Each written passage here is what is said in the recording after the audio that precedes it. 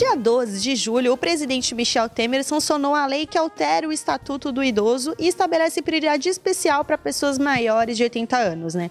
Para conversar sobre esse assunto, hoje a gente recebe a vice-presidente da Comissão dos Direitos da Pessoa Idosa aqui da OAB de Santos, a doutora Zuleika Iona Sanches Barreto Justus. Doutora, obrigada primeiramente aí por atender o nosso convite. De nada, Nathalie. Estou sempre às ordens, sempre que vocês precisarem, estamos aqui para tentar é, conseguir dar uma prioridade para esse assunto que eu acho muito importante. É, doutora, em que tipo de situações o idoso maior de 80 anos agora ele tem prioridade? Então, na verdade, é, essa lei, né, que foi sancionada agora dia 12, né, é, ela altera, ela na verdade não altera, ela inclui três parágrafos, né, no artigo 3 no artigo 15 e no artigo 71 do Estatuto do Idoso. No, no caso do, do, artigo 3 ela inclui dizendo que o idoso tem prioridade em, na saúde, no lazer, é, em todos os atos de cidadania que o idoso pode vir a praticar, né? Inclusive, é, pretendendo que o poder público, né, ele, ele consiga é, dar ao, ao idoso maior atendimento né? De lazer, de, de tudo que, que for para melhor viver, né?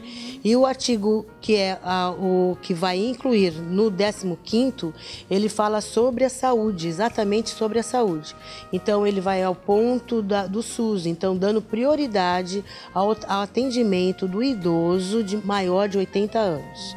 E já no parágrafo que diz, é, que inclui no, no 71, é exatamente sobre a tramitação do processo do, do, maior do idoso, maior de 80 anos. Então agora os órgãos também têm que se adequar, né, essa nova lei, na questão da saúde, a prioridade com ambulâncias. Exatamente, principalmente porque é, é bem, bem é, é, descrito no artigo da lei, né, que a, o SUS, né, no caso de emergência, no, a, hospitais e tudo, ele tem que se adequar, ele tem que dar prioridade. Na verdade, eu acho que esse estatuto veio, né, essa, essa lei veio, porque uh, o idoso, ele, ele está vivendo mais, né?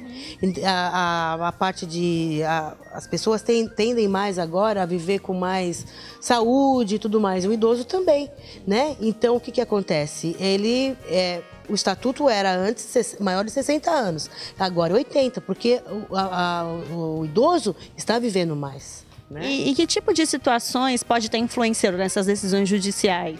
Exatamente por isso, porque eu acho que o idoso com maior de 80 anos, ele, ele vive mais e ele necessita mais de amparo.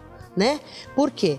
Porque ele não pode ficar esperando né, é, igualmente o de 60 anos. Por quê? Numa decisão judicial, ele não, não tem mais, espera-se, né, ou acha-se que ele não tem mais 10, 20 anos para esperar um, uma tramitação processual, uma decisão processual, porque senão quem, ele não vai usufruir né? No caso de uma indenização, se for o caso, quem vai usufruir são os herdeiros, né? E o que se prevê é que quem, quem vai usufruir é aquela pessoa que, que sofreu a lesão, né? E a questão do Estatuto do Idoso, tem algum ponto ainda que a senhora acha que deve ser revisto? Então, a revisão do Estatuto, eu acho que ela, ela se adequa aos casos. Eu acho que, como, como houve essa, essa alteração, recente agora, do maior de 80 anos, ela vai vindo conforme as necessidades, né, aparecendo. Então, provavelmente, o legislador vai verificando os índices do que precisa e vai se adequar. Existe uma lei é, que os médicos eles devem sempre se comunicar com a polícia em caso de eh, agressão né, ao idoso. Como é que a senhora vê essa questão? A vítima ela realmente se intimida para fazer a denúncia? É, então, é, é na verdade é, é, é, isso mesmo. Se, se, os médicos verificarem, né, ou, ou, ou, suspeitarem que há uma lesão, que não foi uma, uma, uma lesão assim normal, eles são obrigados a fazer isso sim. Só que também o que, que acontece? A, a pessoa né, que sofreu a lesão, muitas vezes ela fica intimidada assim. Por quê? pode vir de um, de um ente familiar, de um ente querido, né? Então, de um filho, de uma, de uma nora ou de um, de um sobrinho. Então, é complicado, porque depois ele vai voltar para o lar onde provavelmente estejam essas pessoas também. Então é difícil e lidar com idoso, sabe, é complicado porque eles já viveram uma vida, né, inteira. Eles já foram donos da família, né? E hoje eles voltam de numa, numa relação muito difícil.